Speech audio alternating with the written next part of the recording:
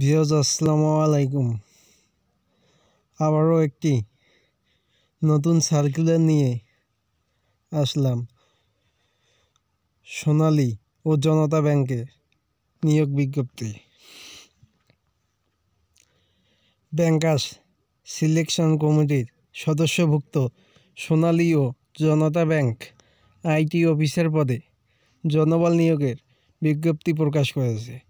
বিজ্ঞপ্তিতে বর্ণিত যোগ্যতা পূরণ সাপেক্ষে আবেদন করতে পারবেন। যে কেউ আগ্রহী প্রার্থীদের অনলাইনে আবেদন করতে হবে। পদের নাম, অফিসার আইটি পদের সংখ্যা তেত্রিশটি।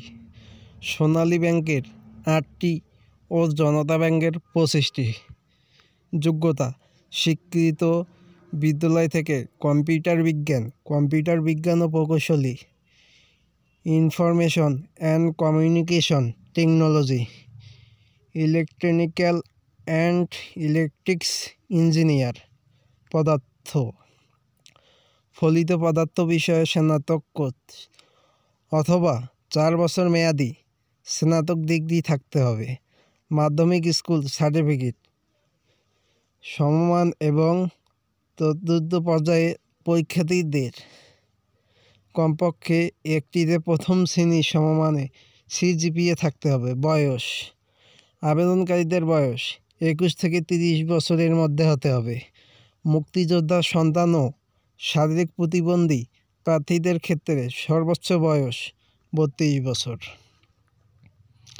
যেভাবে আবেদন, বাংলাদেশ ব্যাংকের নিয়োগ সংক্রান্ত ওয়েবসাইটের মাধ্যমে অনলাইনে আবেদন করতে হবে।